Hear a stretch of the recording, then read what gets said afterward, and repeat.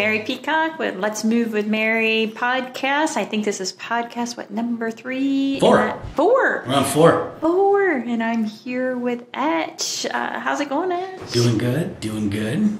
So, this episode, we're going to talk about why now is a good time to sell with the low inventory. Because, I mean, we've had low inventory for probably about two, three years now. And we don't see it increasing anytime soon. So, it's still driving the housing prices up. And then, but of course, we all know the interest rates just went up to what some of them were hovering seven, eight percent, depending on your credit score, of course. But with that being said, even with the inventory, you still want to now's time a good still good time to sell because there's still buyers out there looking to buy a home that that six seven percent is not bothering them. They know that the housing prices are going to just increase because if the interest rates do go down, I think we've talked about this before, the housing prices are going to go up. So, I mean, it's a supply and demand. It's always that way. So, it's always a good time to sell. Right now's a good time to sell. Um, I heard you got some traffic on your house. Yeah. As soon as the rates dropped, there was just like, and I was like, whoa, hey, that was great. So Yeah. perfect. So I'm hoping we have a showing coming up here and I'm hoping that everything turns out good. But, you know, we got a couple of days to, to prep for it. And uh, I'm going to be looking at every little thing right now to be like, is that right? Is this right? Is that Mm-hmm. right? Oh, I see a little paint off there. I'm going to touch that up. Paint's my big thing. Like, I'll look at it and I'll be like, mm, nope, that needs to be redone. I need to fix that. Oh, So, that doesn't look good. as a seller, what are you doing? I mean, I mean, it sounds like you're walking through your house and kind of taking your seller cap off, put your buyer cap on. Like, hey, what is it that I would want to see if I was going to look at the, buying this house again? So, what does that look like for you? For me, it ends up being looking around at any type of major, because I mean, it's so easy to get into a, a routine of overthinking, overlooking things that are like the simple things. You overlook the simple things that really will do probably the most amount of good for you and you focus on the big project because you're like I don't like that. Now see we've lived in our house for like what 5 years. So I know all of the things that I don't like about it that I want changed mm-hmm. as opposed to some other people might be like I have no problem with that. So I look at all those things. My wife, on the other hand, she's like, no one cares about that. Stop. You're wasting our time.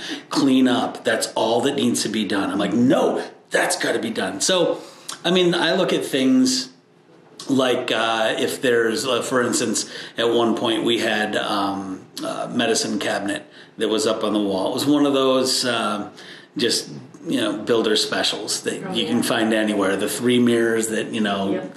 they're all over the place. So this one, the back of it is, was warped, so it's kind of hanging off the wall about I would say a quarter inch to a half an inch. Oh, that's quite a bit. Yeah. some people would just be like, "Oh, I don't like that anyway. I want to get a new, you know, vanity anyway." Or put a new mirror in or right, or whatever. just a mirror Yeah. or something like that. But then there's me who's going, "All right, we should probably replace this wall."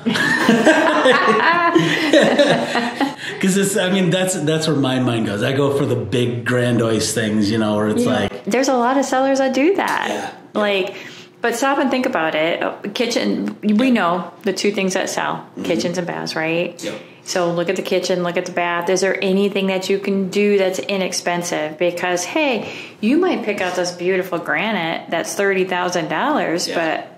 but is it going to appeal to the masses of the buyers that are you're trying to attract? Right.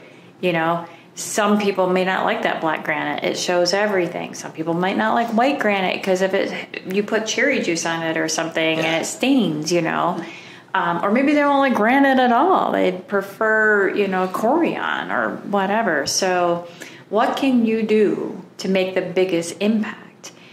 And I get that question a lot. And one thing is paint. "Yep, It's the least expensive and it has the biggest impact. I've gone through a lot of houses that, I mean, I love color. I love yellow. I love red. I love all those. I've had them in my house. But they don't appeal to the masses of buyers. And a lot of sellers are be like, well, it's just paint, right? No big deal. I'll give them a paint credit. Believe it or not, a lot of people can't see past that. Like, oh my gosh, that, did you see that red wall? Like, uh, oh, I can't do that. And even though they know it, just one wall, and it might cost you what thirty bucks for a gallon of paint, and the red wall's gone. but that's my biggest advice: is if you see something like that, or um, how many times have you opened up a door? I think we told, talked about this too.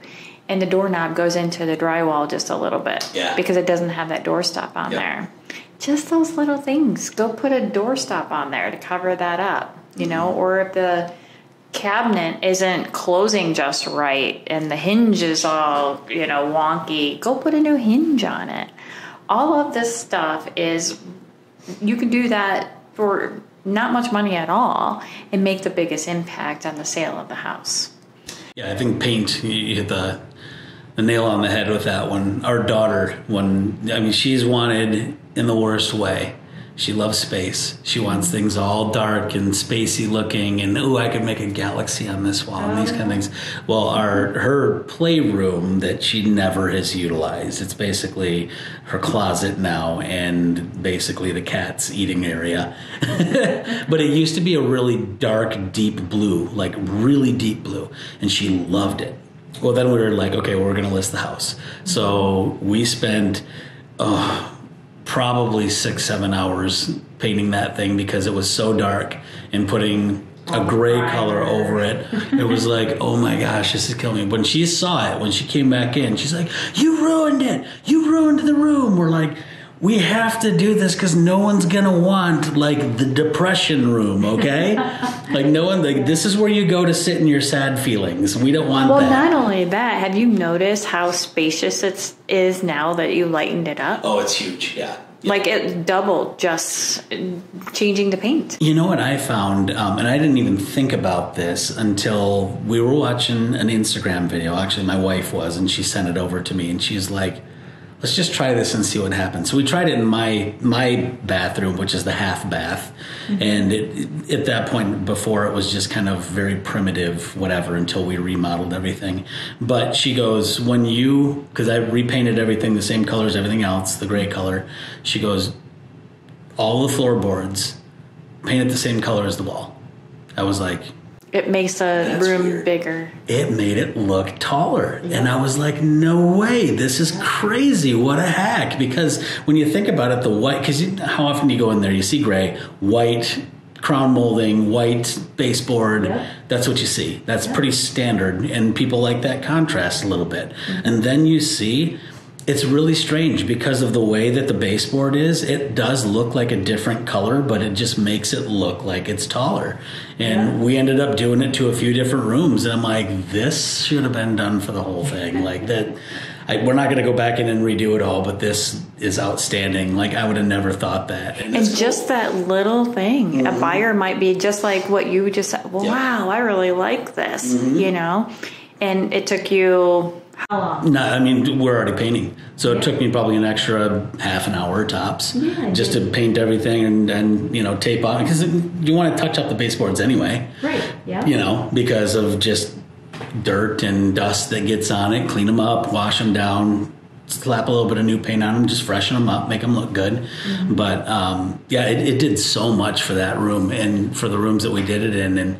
Um, I, I absolutely love it. I would have never have thought that that would have been what really did it. But just especially if you have like our our um, house is like fifteen hundred square feet, so it's a smaller house. It was built in the nineteen twenties, so it's going on hundred years old. Rooms weren't super big back then. They didn't need them to be that big, you know. So when you can utilize something like that to make it so that it makes the room look bigger, even though you have a small space, I mean we haven't had any complaints at all from people who have viewed it. They look at it, and the feedback that we got was they staged this really nice. They found they they put the space to good use, is how the realtor put it. That's that they said, which was like, that's all I could hear. That's what you want to hear. Mm-hmm. Yep, yep, Yep. yep.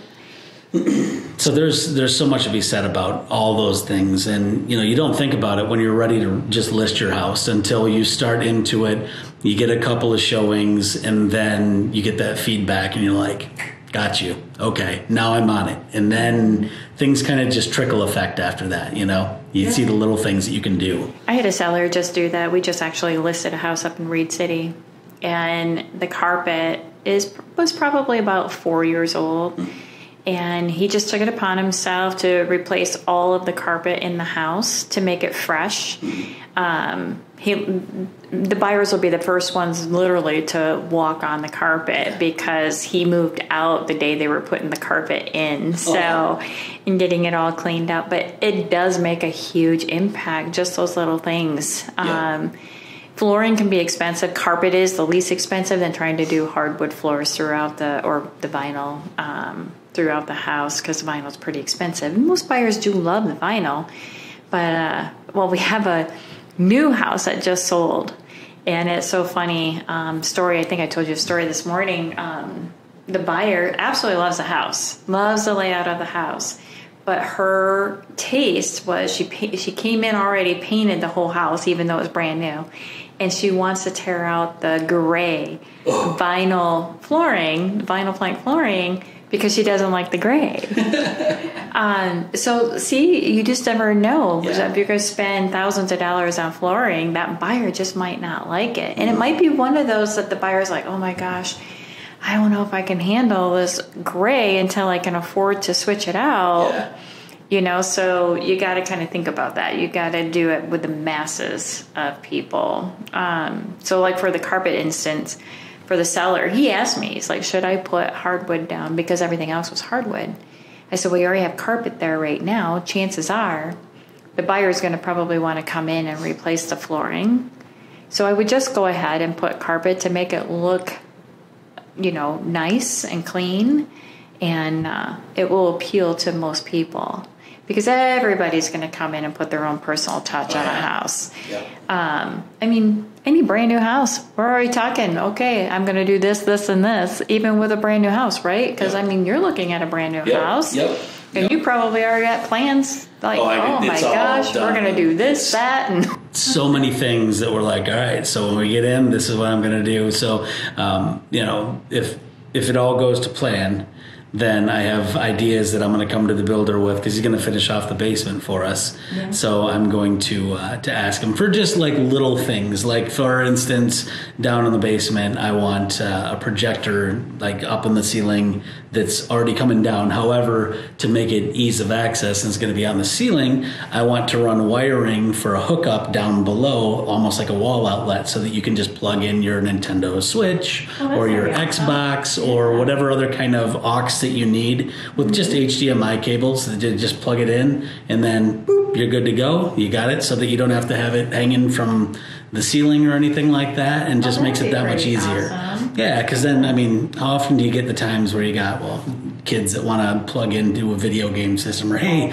my friend is coming over and they're bringing their Xbox that we don't have. Oh, I guess I'll have to hook it up. Well, here, plug it into that and it's good to go. Turn it on, turn the projector on done. So all these different little ideas that you know, once you have the space to do those things, start rolling out, and you know, it gets exciting. But going back into uh, the flooring and the carpet and stuff like that, um, if there's one suggestion that I can give, because we just put in new into ours, spend the money on the pad. spend the money on yes. padding. Not so much the carpeting. Mm-hmm. No, you can go into lower grade carpeting, yep. but you definitely want to spend. And yeah. you don't have to go high end pad, no. but you don't want to go the very low pad right. either. So that stuff ends up being after like a year or two. I don't care what they say. Oh no, it lasts for twenty years. It yeah. doesn't last for twenty. We just did that. We had a house that we just renovated, that our last flip house, yep. and we put carpeting in the bedrooms, and we went with the builder grade carpet, but we were very. Yep animate about the padding. We went mid grade padding. Mm-hmm. But we did put the vinyl plank throughout the whole house, but we did more of the brown neutral colors, like mm-hmm. really go with a lot of things. Um, gray was definitely in for a while, but I think it's kind of run it. I think it's kind of ran its course. Yeah. I see a lot of colors now are the sage. Um, sage. Oh, I love oh, the sage. Well, that's what we just did those cabinets with with our flip. We did mm-hmm. sage with the gold hardware. Yep. And everybody's like, "Well, gold is kind of dated, but not anymore. It's actually coming back." I love like I saw a vanity like sink that was the dark blue with gold handles and all those kinds. Mm-hmm. of stuff. I was mm-hmm. like. Need it. Need I it. know. So yeah, I'm really loving the new trend that's coming. Yeah. that's coming out. Um, very, I think I'm going to call it boho. I guess is that bohemian kind of Yeah, vibe. I yeah. guess. I, I would go like for me, I go with elegance because it's like the Mm-hmm. Yeah. gold kind of feel is just kind of just. I don't know. There's something to it, and blue is kind of more regal. So Yeah. like, okay. Yeah. I like those. it's a little royal and elegant to me. You know, um, I'm everything but those things. but I want my guests to think that I am. I'm like, hey, look. So, uh, little known fact about me: I like these things. I just don't like to show it. Okay. I gotta tell you, I was showing a house the other day, and I walked into the most pristine house built in the 70s and it still had all of the 70s like wow. green shade carpet the orange countertops and the blue sink and tubs and toilet everything was like in perfect like nobody ever lived there it was Yeah. just absolutely beautiful and my buyer is like, oh my goodness, I'm gonna have to rip all of this out. But everybody, I'm just going, oh, this is gorgeous. It's so aesthetically pleasing. It's like walking into Graceland. Yes. Is Elvis? Oh, yes. You know? Yeah. But it's not for Everything's preserved. everybody. But, Yeah. you know, that was an estate. And uh, a, lot, a lot of times when you run across Yeah. buying an estate, they are coming as is, where is. Yeah. So, but this one was, I mean, pristine. Yeah. That's and that's cool to see though that there's still stuff out there that's like that. It's it's the uniqueness almost that for that buyer may have been like, oh,